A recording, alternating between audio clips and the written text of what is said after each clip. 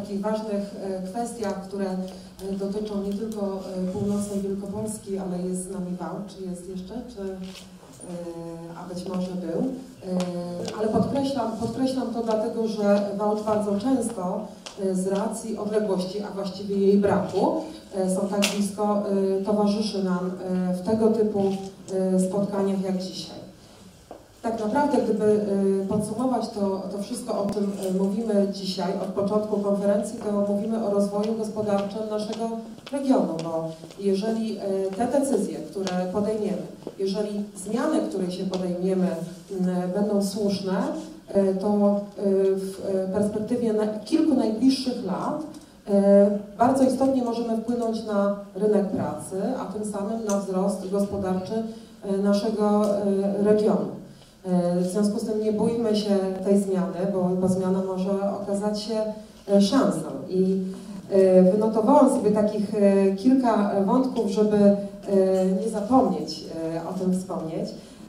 Chcę powiedzieć, że goni nas czas, a żeby sobie ten czas wyobrazić, pomyślmy sobie, do kogo chcielibyśmy dzisiaj adresować te nasze wszystkie poczynania. I wydaje mi się, że mówimy tak naprawdę do gimnazjalistów i ich rodziców, bo jeżeli spojrzymy, to dzisiejszy gimnazjalista za 3 lata, za 4 lata zacznie tworzyć nasz rynek pracy. Jeżeli wpłyniemy na niego już dzisiaj, e, umotywujemy go, to wybierze właściwie, tak? Czyli mówimy nie tylko o tym gimnazjaliście, mówimy o rodzicach, to im musimy e, pomóc orientować się w zapotrzebowaniu, tak żeby ich dzieci za 3 lata, za 4 lata, e, kończąc e, edukację, miały tylko wakacje, ponieważ dalej idą do pracy. Czyli ta słuszność wyboru tego kierunku po gimnazjum będzie mm, później świadczyła o, czy przesądzać będzie o ich sukcesie, bądź powiększeniu ilości osób bezrobotnych. W związku z tym, jeżeli dzisiaj powiemy sobie, że i biznes, i edukacja to są partnerzy, którzy sięgają po tego e, gimnazjalistę, to po pierwsze e, będzie to bardziej dopasowane do rynku pracy, ponieważ biznes na tym skorzysta. Biznes będzie czekał tylko 3 lata na tą osobę, która, czy 4 w zależności od, e, od wyboru szkoły, żeby sięgnąć po tego pracownika, którego dzisiaj brakuje, bo podkreślano, że brakuje konkretnych zawodów, konkretnych konkretnych ludzi, którzy natychmiast dzisiaj dostaliby pracę. W związku z tym tak istotne jest y, podanie tej informacji już y, młodzieży, żeby ona wiedziała, że sukces odniesie, jeżeli podejmie kształcenie w określonych kierunkach.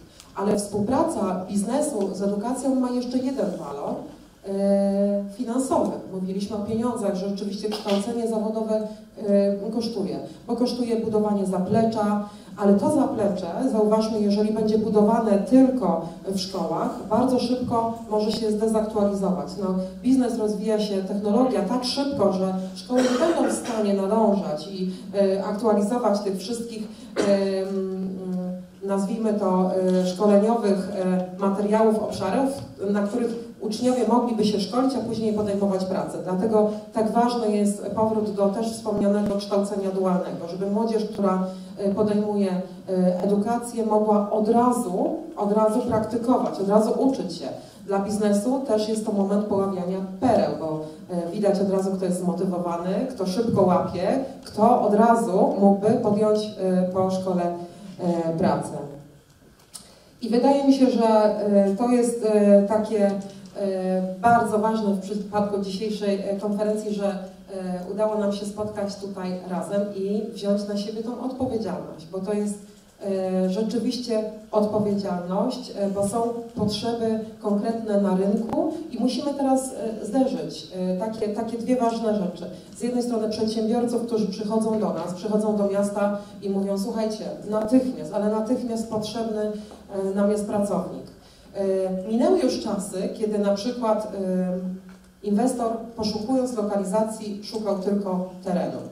W tej chwili inwestor przychodzi i mówi pokaż mi, jakie masz szkoły, pokaż mi, jakich masz ludzi, a ja podejmę decyzję, czy mogę do Ciebie przyjść, bo wybudować fabrykę mogę w trzy miesiące wcześniej, umówmy się, w kilka miesięcy mogę ją wybudować pośrodku lasu, ale jeżeli nie będę miał ludzi, nie odniosę sukcesu. To nowy inwestor. A dzisiejszy przedsiębiorca, jeżeli chciałby się dalej rozwijać, też jest uza- uzależniony od tego, czy są ludzie. W związku z tym rzeczywiście ludzie po, e, po pierwsze e, i najważniejsze.